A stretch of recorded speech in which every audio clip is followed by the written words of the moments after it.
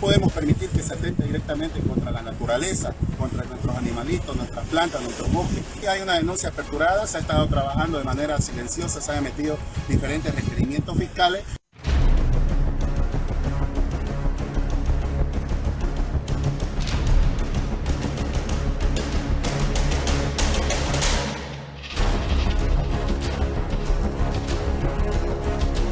Fuerza pública va a ingresar a establecer el orden, a establecer el respeto a las leyes y a las normas, sea quien sea, pequeño, mediano o grande empresario.